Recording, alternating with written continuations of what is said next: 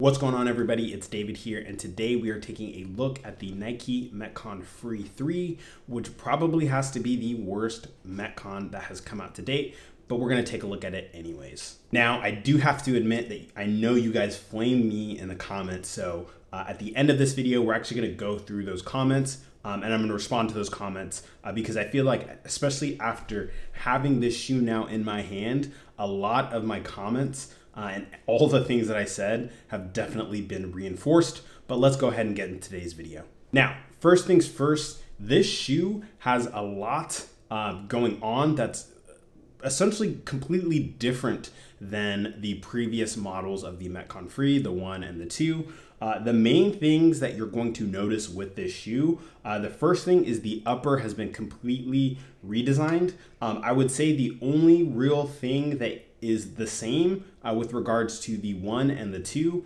is the pull tabs. Uh, so you got the heel pull tab here in the back and then the heel pull tab or the front pull tab in the front.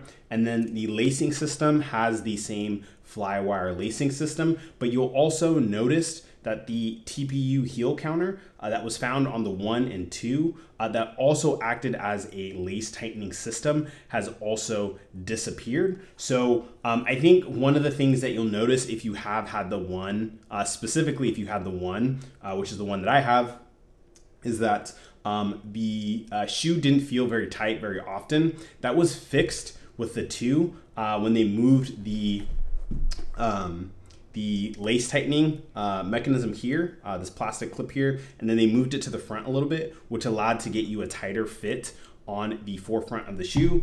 That's completely gone, um, which I, I can understand why they would make that decision because with this version of this shoe, um, you can just get a little bit more of a uniform fit with the shoe. But uh, you know, in my opinion, I really liked this uh, lace tightening system. I think it added to the design of the shoe, um, as well as added some extra durability. So that's the first thing that you're gonna notice that has disappeared with this shoe. Okay, so the second thing that you're gonna notice with this shoe is that the Duracage-like material that was on the one and the two is now completely gone on the upper. Um, what now is left is this almost just like this very like fabric type material. Um, you know, with the one and two in regards to durability, um, I would say that in regards to like general like weather, wet weather specifically, you're not going to find much protection there. Your shoes are going to get soaked, um, and that's going to be no difference with the shoe. But I think the thing that had that was going well for the shoe uh, for the one and the two is that the Duracage like material definitely did add some overall protection to the shoe in regards to like abrasion from other types of material that might fall on your shoe. I think the most important or the most um, applicable scenario would be during things like rope climbs. Um, you will find that with on this shoe, I think what will end up happening is that this shoe might get eaten up just a little, I would not even just a little bit, a lot more than the previous models because there's nothing that's protecting the fabric, um, this nylon like fabric uh, from getting abrased. So um, I think the durability of the upper has definitely gone down uh, significantly. And uh, lastly, some other changes to the upper of the shoe. We do have some 3D printed materials on the shoe on the upper and like more stressed areas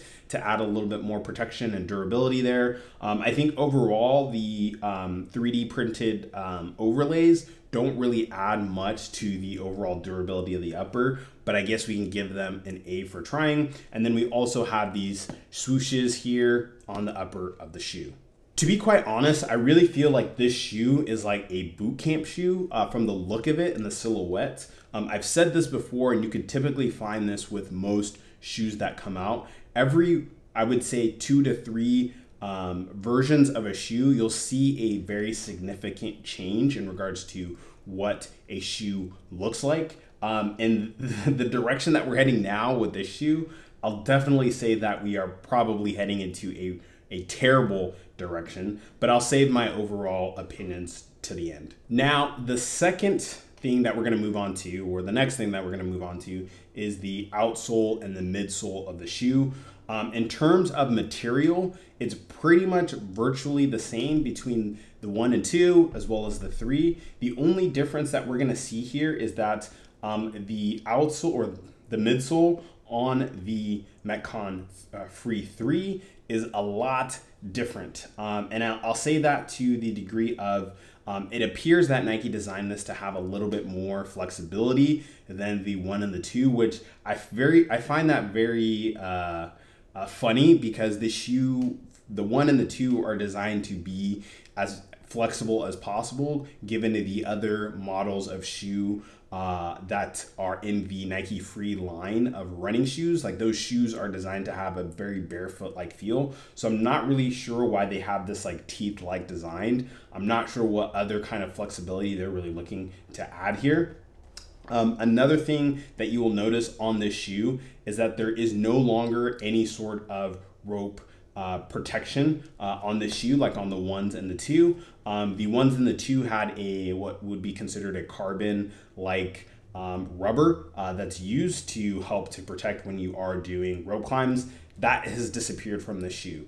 So um, uh, this shoe now predominantly only has a EVA uh, molded uh, midsole outsole uh, combination here. So, um, you know, if you're planning on doing rope climbs with this shoe, I would probably not advise that uh, because if you've had Nike Frees and if you had the ones and twos, I mentioned this in my first video when I reviewed these guys. Um, these did not last very well to rope climbs. These shredded the first time I did rope climbs with them. So you can imagine that if you do plan on doing rope climbs with this shoe, this shoe is gonna get eaten alive. Now, some other things now, some other things that are going on with the shoe, uh, some other elements. Um, the heel is a little bit different. Um, you don't have this sort of like rounded um, sort of uh, heel or design. Um, it's a little, it sits a little bit more flat to the ground. Um, and then they added rubber, uh, the rubber that would have been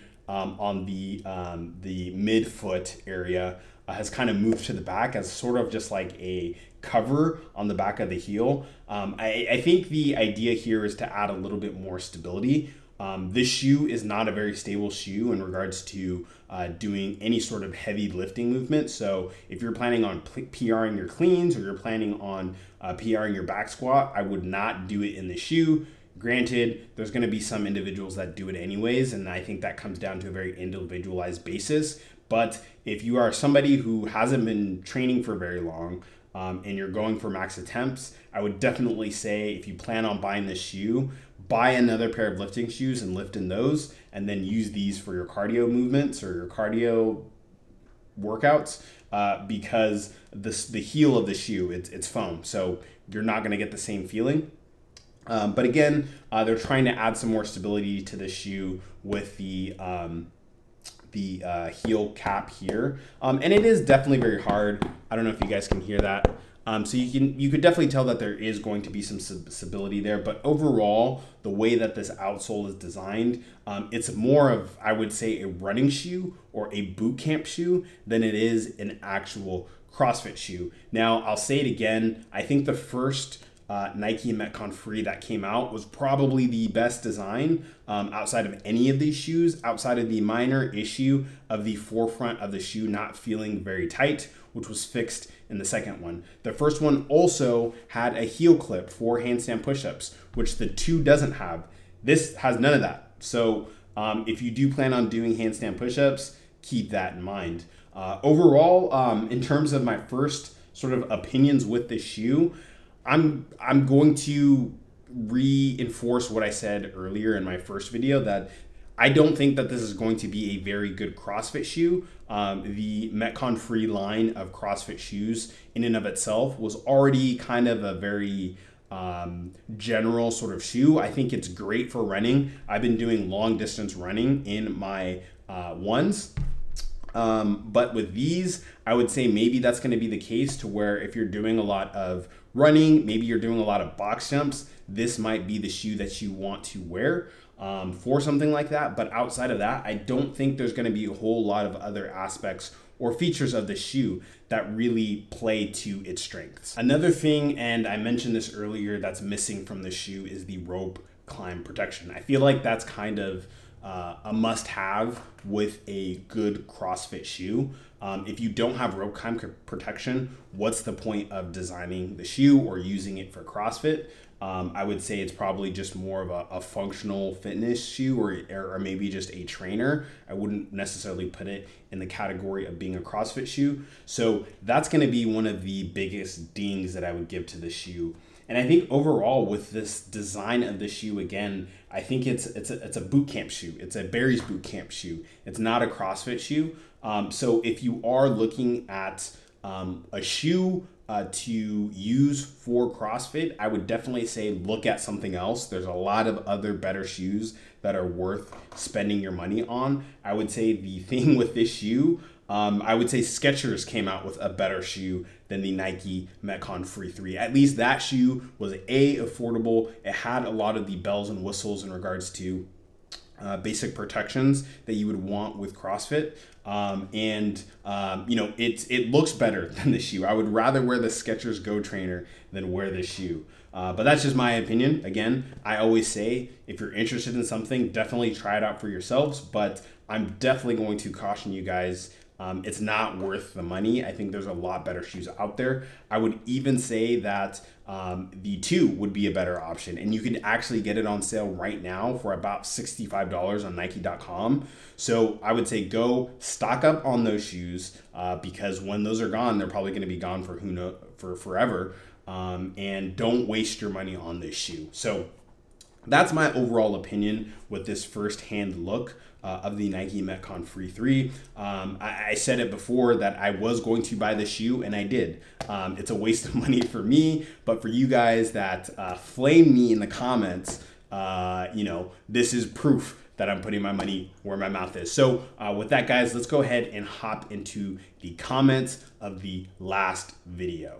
All right, so the first comment was from Corrections, and he said, Let me get this straight. You're trashing it and you don't have it and you haven't tried it in person. How are you qualified to tell anyone not to buy it or that it's trash? Well, if you've watched any of my other videos, that's what I do on this channel is review different CrossFit shoes and products. So uh, based off of what the initial images that we have, I definitely do feel that I do have some credibility. You can see all the other videos that I've done. I've reviewed the first one. Um, I've also reviewed other CrossFit shoes. So uh, definitely take a look at my other videos if you are confused about what's going on here. All right, so the next comment comes from Marty Alvarado, and he says, uh, I picked these up from on sale from Dick's. I'll be the first to say I did not like the way it looked online. I decided to order it for $90, and I have to say I really like the shoe. I've done a couple of WODs in them, and I'm impressed. Stable for lifts, and comfortable to run in.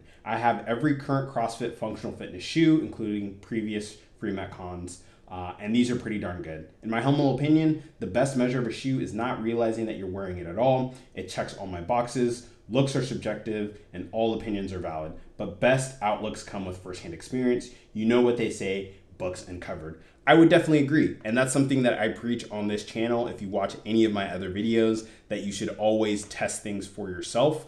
Um, my opinion is just my opinion, and that's all I'm really sharing. But at the same time, again, as I mentioned to the previous commenter, I have reviewed quite a bit of shoes. I've purchased tons of different shoes. I have weightlifting shoes, you know, that are older than sand. I have, you know, current weightlifting shoes. I have Nikes. I have Reeboks. I purchase everything to try to figure out what works best for me. And I try to share my opinion based off of things that are um, that I feel, in my opinion, are very essential. I would also say I think it's important to note that, again, with the experience that I have with multiple different shoes, um, I, you know, would go off of based off of my previous experience. Um, if you see my other videos, you'll get a sense of, you know, uh, my outlook on how I approach um, these videos. So take that with a grain of salt, test everything, test things for yourself Marty Alvarado, I'm glad these work for you. Um, again, opinions are subjective. Next comment is from Jay Bot, Jay Bots, and he says, bruh, if it gets the job done on my home gym, I will still buy it regardless of how it looks. Again, I have no problems with that. If it works best for you, that's great. Um, if it doesn't, get your money back. Um, you know, for a lot of people, these people, most people there might be a lot of people that like this shoe. I personally don't. I do definitely think this is a step back based off of previous models that have come out. Um, you can feel free to argue that point. But I think there's a lot of things from the shoe that have been stripped down um, that I'm definitely bummed on because I think the previous models were actually better versions of the shoe than what we have now. Um, and yeah. Uh, next comment from Zachary Bloom. Them for the fours though, and I would definitely agree. Um, who knows what the four is going to look like? Uh, I hope the fours that come out look better than this shoe. I hope ultimately that Nike takes a second look at how they've designed the shoe and realize that this is not a CrossFit shoe. But again, that's my opinion. It's subjective. Next comment is from Herms. So just trash it even though you don't have it. Yes, I did just dra- trash it. These are my opinions. I'm sharing my opinions based off of my experience. Um, go check out my other videos based off of uh, you know what I have um, put out. You'll see why I'm thinking and I gave my opinion the way that I did. Next comment is from LF. Haven't seen it in person or worn them for a workout and you're just trashing them. Yes, I am just trashing them. Um, again, I think I, I feel and I, I, I, I would say I'm pretty confident to say that I feel like my opinion is very valid. I've worn Nikes, I've worn Reeboks. Uh, I've bought Adidas CrossFit shoes that I've also reviewed on this channel. So uh, I give everything a fair evaluation. I purchased this shoe even though I didn't like it. Um, and my opinion may change when I do the final evaluation. Next comment is from Active Gear Lab, uh, and he said, Yes, I 100% agree, David. The Metcon Free 1 was the perfect CrossFit shoe. If anyone is interested, I have a workout review video here. Definitely go check out that video because, again, even though my opinion is my own, I know there's other people that agree with me that think that this shoe looks and probably performs like garbage. Uh, next, next comment, Spear Ruler. How do you review a shoe without wearing it? It's speculation. People do it with the market all the time. It's the same thing. I always try to have a sort of like first look or, hey, this is coming out. These are my opinions. And then I'll go ahead and review the shoe. I'll do an unboxing and then I'll also do like a performance uh, next step. Uh, for a lot of people, uh, being that this video I think hit the first page of Google for this search term, uh, may not have seen my other content. So definitely go check out my other videos because you'll kind of see, you know, how I operate on this channel. Last shoe or last commenter uh, is from Kevin Jackson. He says, give a review after you've worn the shoe. Again, these are first impressions. Um, and I think I titled the video, uh, no, I did not. But this is a first impression. The previous video was a first impression video, just kind of giving my thoughts on what I'm initially thinking going into the shoe. That doesn't mean that when I get this shoe in, in hand, my opinion won't change. Um, I always preach and tell everyone, hey, make sure you test things for yourself. You can ask any of my friends the same thing. Look at the, all the shoes that I've reviewed on this channel. I've reviewed Strike Movement, I've reviewed Nike, I've reviewed Adidas, I've reviewed Reebok. Um, I'm not partial to any brand or to any shoe. Um, I hold no sort of um, um, loyalty uh, to any of these companies because I'm not on their payroll. They don't employ me. They don't pay me to share my views. So these views are my own. If, if you guys don't agree with that, that's fine. And that's why I like having this discussion for you guys to give that opinion. You guys flame me a little bit though, which it is what it is. Uh, I'm not upset, but I'm sticking to my opinion. So next things next, um, I'm going to be testing this shoe for the next two to three weeks. Uh, gonna give you my opinion of how it performs. Obviously, with everything going on with COVID 19, um, I'm gonna be limited in regards to the scope of uh, training uh, that I can do at the moment because my gym was closed. Um, pretty much all gyms are closed. Uh, I haven't been able to weightlift, uh, which is my primary um, training methodology for the last um, two months. So uh, this opinion is going to be purely based off of long distance running and CrossFit, uh, mostly body weight movements and whatnot. So uh, I will be giving you guys my opinion there. Uh, again, it is my opinion. It's not anybody else's opinion. So uh, you guys can um, take that as you guys see it. Uh, and again, I'm going to preach and say that I think this is a garbage shoe, um, but we'll see how that that that turns out. Um, I am pretty stoked because the next video that I'm going to be doing is going to be on the Nano 10. Um, I purchased those when they right when they came out for uh, availability for purchase, which was last week. Um, and then I got my, I'm supposed to be getting it in the mail tomorrow. So um, the next video after this will be the Nano 10. Um, I'm really stoked because if you've seen my other videos, I was not stoked on those shoes. Um, the eights were very unstable uh, to some degree, but uh, they're very comfortable. The nines are garbage. I don't wear my nines. I don't even remember the last time I wore my nines. I think they've been at my locker in the gym for the last like three months um, because I don't wear them.